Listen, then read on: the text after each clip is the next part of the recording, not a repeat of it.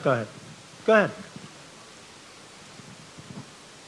Hi, Mr. President. How are Uh, you? I'm Nice- good. From the Straits Times of Singapore. Welcome to the country. Thank you very I much. I hope you enjoyed our food. Beautiful country, I did. Uh, I just have wanted to find out, you, you described this as a process.